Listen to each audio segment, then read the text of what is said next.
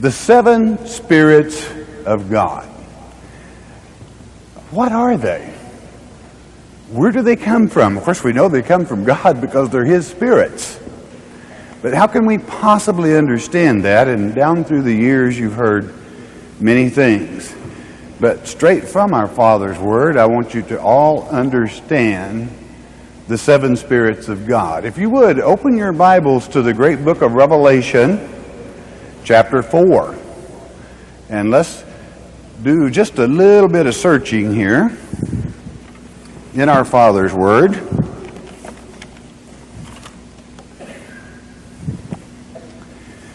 And we're just going to take some food for thought and see if we can piece it together for ourselves. Chapter 4 and verse 4, you know, this is where John was taken to the Lord's Day, meaning all the way to the end, where the first day of the millennium and showing all the things that would happen.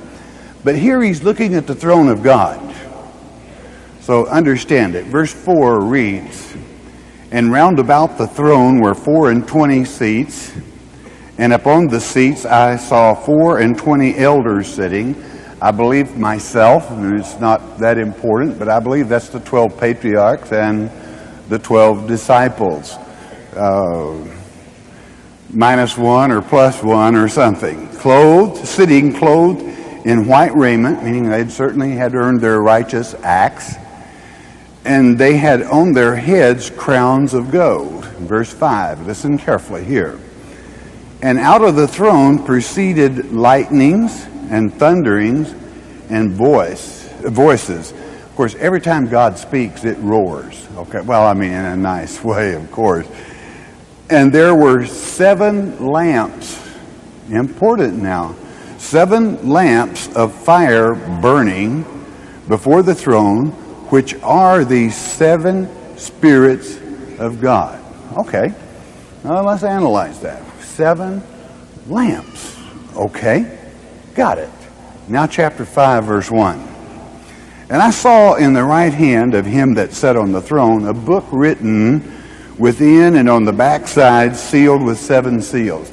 That means that on the within and the backside means it was complete. The whole word was right there if you understood it. Verse 2 And I saw a strong angel proclaim with a loud voice who is worthy to open the book and to loose the seals thereof? Verse 3 And no man in heaven, nor in earth, neither under the earth, was able to open the book, neither to look thereon. For, and I wept much. This would be John speaking now, the Father guiding. Because no man was found worthy to open and to read the book, neither to look thereon. And that would be frustrating. That would be confusing, you know. And it is confusing not to be able to understand, but always dig until it clarifies. It will, if you don't give up. Verse 5. And one of the elders said unto me, Weep not. Hey, hey, don't, don't, get a, don't get in a sweat. Everything's cool. Okay? Behold, the lion of the tribe of Judah, the root of David, hath prevailed to open the book he should be able to. He's the, he is the Word, okay? And to loose the seven seals thereof. Six, now really pay attention for me. And I beheld, and lo, in the midst of the throne and of the four beasts, and in the midst of the elders, stood a lamb as it had been slain. Well, we know Christ was crucified, and that's who we're looking at. Having seven horns and seven eyes. I repeat, seven eyes. I'll repeat again. Having seven eyes, which are the seven spirits of God sent forth into all the earth. What do we got here? We've got seven lamps that are the seven spirits of God. And we got seven eyes here that are the seven spirits of God. So the two got to meet somewhere. Somewhere we're, we're being told something there that lamps and eyes have got to jive somewhere, okay? Or we're not getting it because the, the absolute explanation is the seven spirits of God. Agree? Right. It's got to be, okay? Um, and, and important, the seven spirits of God sent forth. They what? They were sent forth into all the earth. That means that's the equivalent of walking to and fro on the earth. Interesting, what? Hmm. That means we're exposed to them some way, if we can just kind of understand it. Verse 7 And he came and he took the book out of the right hand of him that sat upon the throne. 8 And when he had taken the book, the four beasts and four and twenty elders fell down before the Lamb, having every one of them harps and golden vials, vials full of odors, which are the prayers of the saints. God hears them all, He keeps them bottled. Every time a saint is one of God's elect, when you pray, it's bottled. Okay? And He will do what's best for you. And what His purpose is for you is exactly how it will be answered. 9. And they sung a new song, saying, Thou art worthy to take the book and to open the seals thereof, for thou wast slain and hast redeemed us to God by the blood out of every kindred and tongue and people and nation, whomsoever will. He's ready. All you have to do is search, repent, seek, and find. Okay? 10 and has made us unto our and has made us Uh, unto our God kings and priests, and we shall reign on the earth. Whoa, now that's you know, we know that during the millennium, we're told in Ezekiel 44 that the elect will be priests on earth. That's the election, you know. There's 7,000 of them which is a number that simply means seven, meaning spiritual completeness. They're the only kings and priests, that is to say, priests, that I know of. And the kings, of course, is the kings and queens of the nations from verse 2. Every kindred tongue. I really don't know of anyone else that it's stipulated in God's Word that will be priests during the millennium age. And that's what this is talking about. Hmm. Interesting. Verse 11. And I beheld and I heard the voice of many angels round about the throne and the beast and the elders, and the number of them was 10,000 times 10,000 and thousands of thousands. You couldn't count them.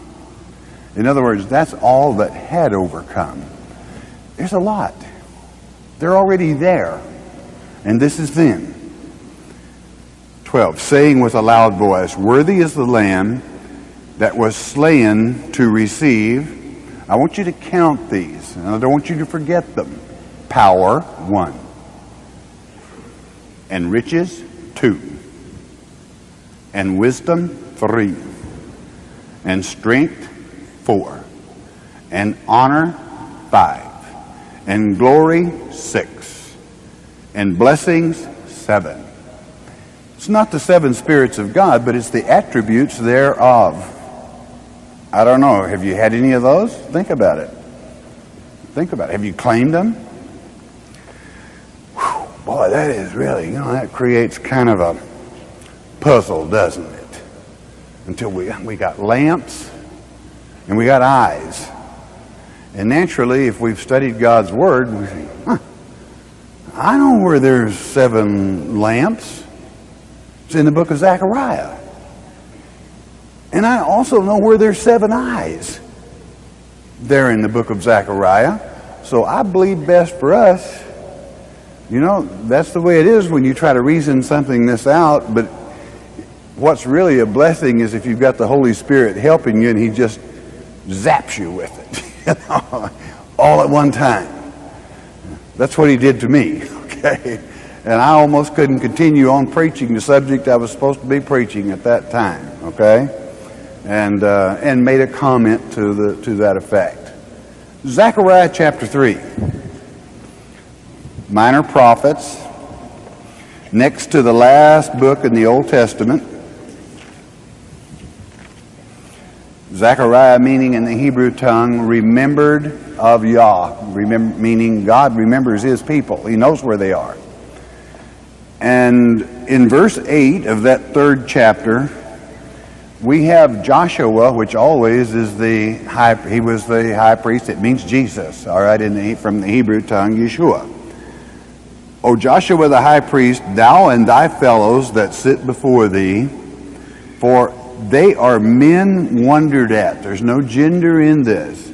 That means they're for signs of a time when they do what they're supposed to do that will be symbolic and will be as good as a date knowing what's happening. For behold, I will bring forth my servant the branch. In other words, whoever these people are, they have a great deal to do with bringing forth the word of the branch who was able to break the seals. Verse 9 For behold, the stone that I have laid before Joshua Upon one stone shall be seven eyes. Behold, I will engrave the graving thereof, saith the Lord of hosts, and I will remove the iniquity of that land in one day. Well, you know what that day is. There's only one time in history that God's going to remove all sin in one day. And look around you, friend, it hadn't happened yet. I think you all realize we got sin in this world with a capital S. Okay? We've got people that like to poke fun at Christians, but it ain't going to be funny much longer. They're not funny at all. It will be a very serious, serious uh, offense. God doesn't like that. So there we got seven eyes.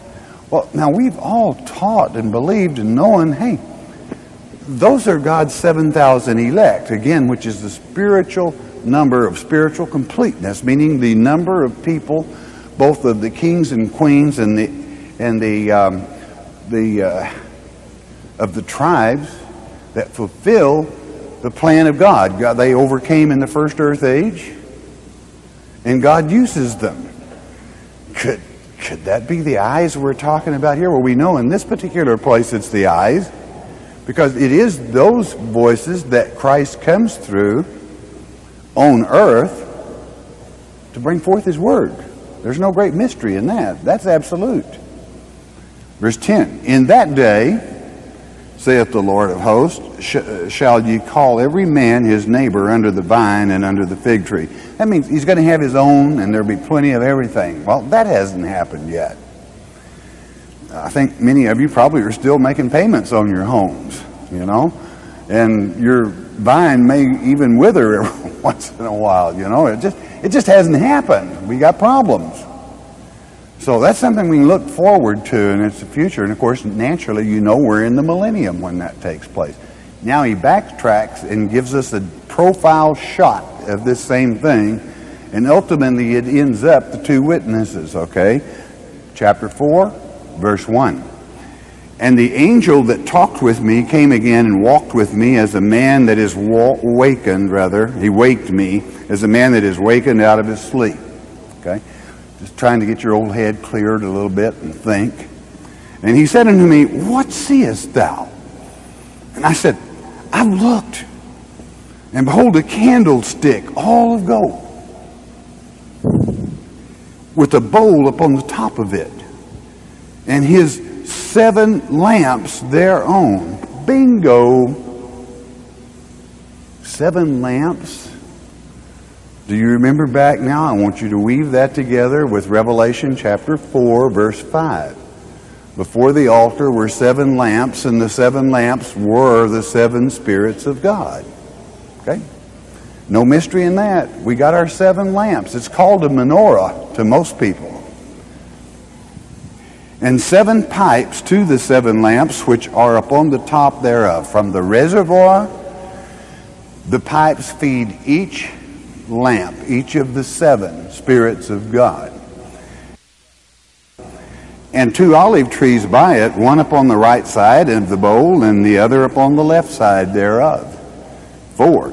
So I answered and spake to the angel that talked with me, saying, What are these? My Lord, tell me. And you have the right to ask also, what, what are they? Then the angel that talked with me answered and said unto me, Knowest thou not what these be? And I said, No, my Lord.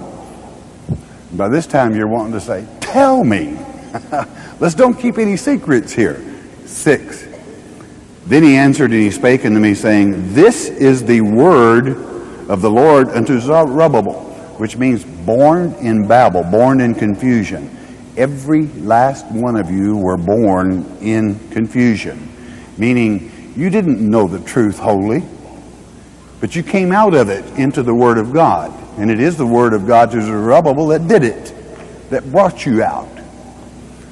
Saying, Not by might, nor by power, but by my Spirit, saith the Lord of hosts. So the Spirit of God moves the oil from the reservoir to each of the seven lamps. It is the Spirit of God so we got seven spirits pumping oil.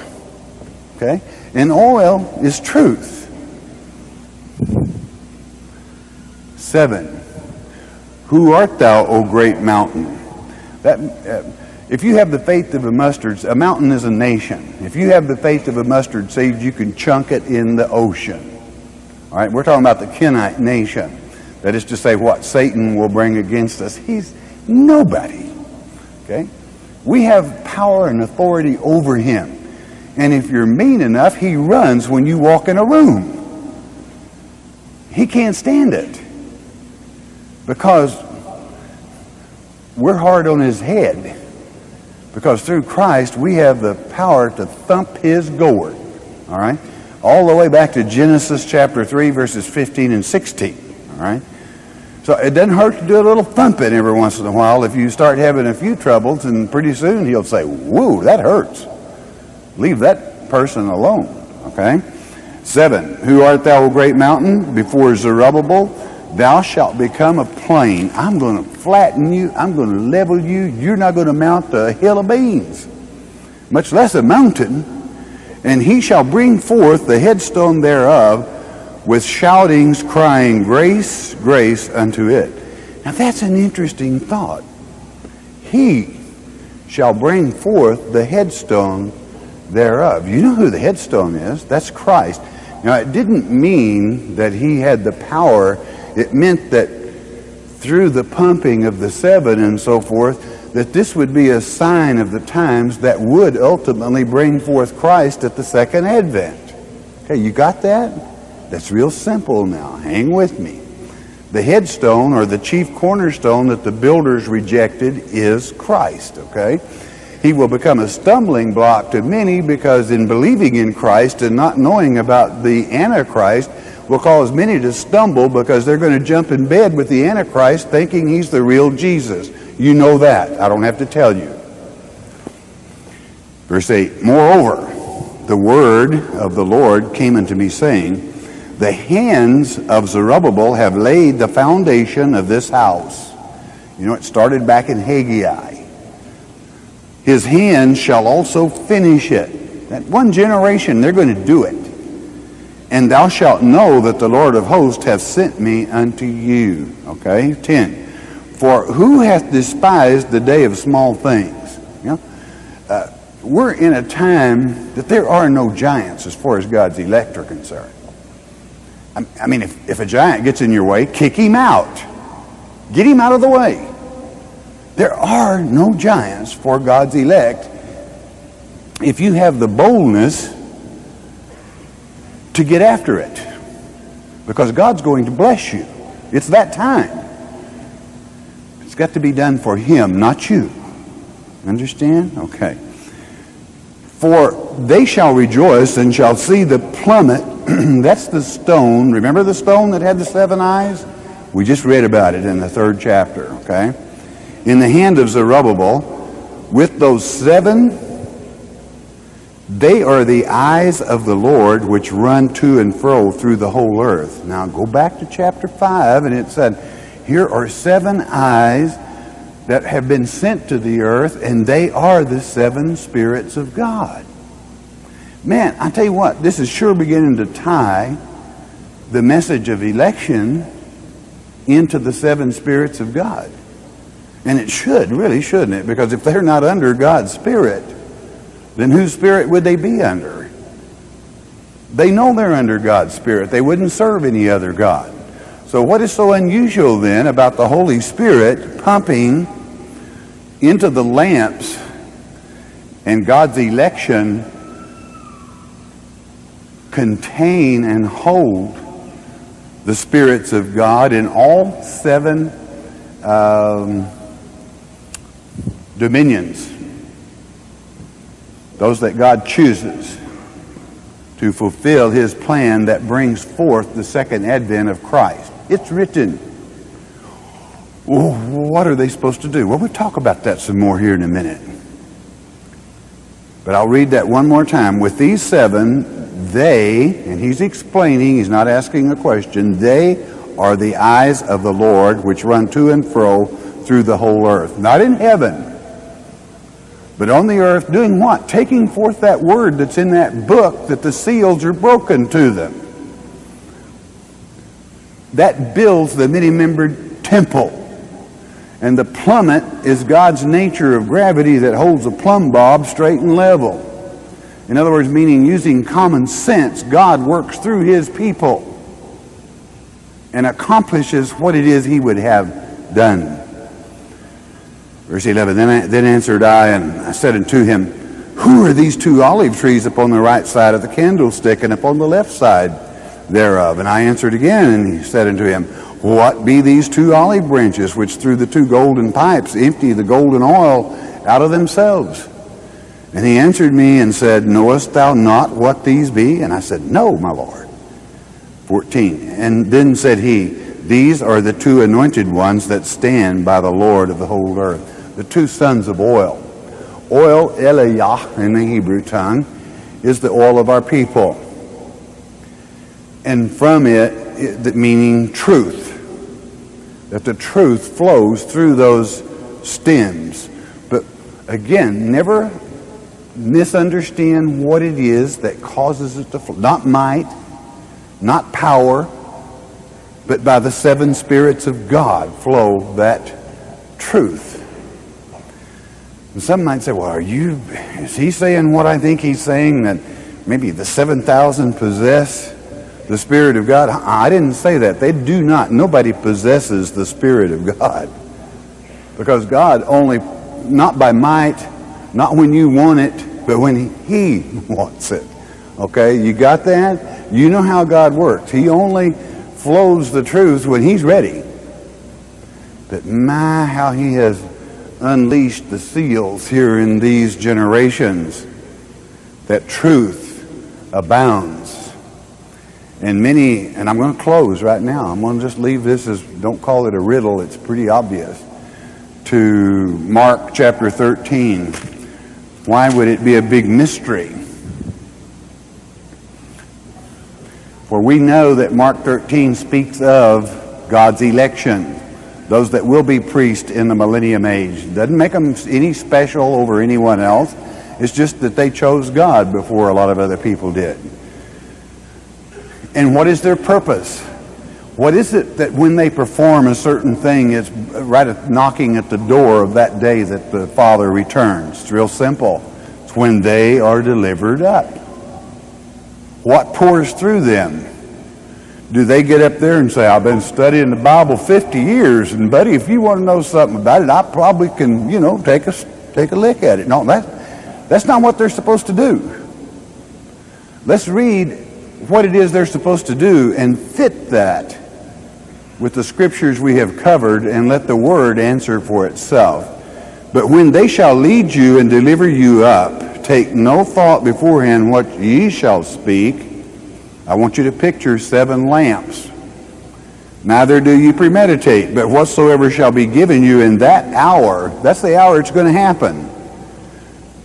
That speak ye, for it is not ye that speak, but the Holy Ghost, the Holy Spirit. So, you see, it would be a little premature for one to take on some special feeling because the seven lamps happen to be the 7,000, because they don't have all that much to do it, with it other than discipline and obedience, for God moves the Holy Spirit through those lamps. And those are the lamps and the eyes of God on this earth. Not in heaven, not underneath the earth, but there is no other group that takes that truth forward in this generation, the generation of the fig tree, as uh, like that uh, God's elect does. Am I saying that's all in this group? I don't know, not necessarily. You have to judge that for yourself. How many groups are God's elect? Where do you hear the truth taught? Chapter by chapter and verse by verse. Doesn't take a smart person to figure it out. So you're not saying the 7,000 are all special because God, in a sense, looks at them like as, as the seven eyes on earth and the seven lamps because all they are really is lamp stands reflecting the light of Almighty God as He uses them to bring to pass His overall plan. Okay? That's simple. Doesn't, I don't want to have to punch any holes in any balloons and have you go up around here, all right? I want you to understand. It doesn't make you some special critter, you know. But it does mean you're special in the sense that you can be a blessing to the ignorant, that you can be a blessing to the unlearned. When God chooses to speak through you for a purpose, if we had read another letter, it would say, I'm a verse in Mark 13. I don't have to read it to you from there. You all got it memorized probably. For the truth must go. Christ's word must go to the whole earth before the end can be. Who takes it? Who does God utilize? his election when they're delivered up. And they can't take all that much credit because it's God that speaks through them. But it isn't it wonderful to love him enough and trust him enough and to be obedient enough to him that you will allow him to use you for that? It makes you kind of special. I think you're all a pretty good looking bunch of table lamps myself. You know? I think you glow just real nice. And I had an old uncle one time that glowed every weekend, but wasn't that glow, okay? So I'm going to leave that with you. I think it's beautiful when you stop and think about it. Be humble before your Father. And, um, well, this is it. 1998, Passover is coming to a close.